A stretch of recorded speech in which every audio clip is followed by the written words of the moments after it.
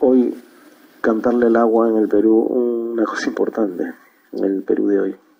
Antes de pasar y de volver, si quiere hablar de ese tema del Perú y de otros eh, temas o asuntos que también aparecen de fondo en este documental, eh, quería saber eh, qué importancia tiene la figura de José María Arguedas en el gran liderato peruano, porque vemos que este músico que nombrábamos antes era amigo suyo, va a recorrer a la casa, que le dice que vaya, y es como, bueno, eh, no sé si estructuró algo en torno a, o le, le inspiró o le influyó a la hora de hacer el documental.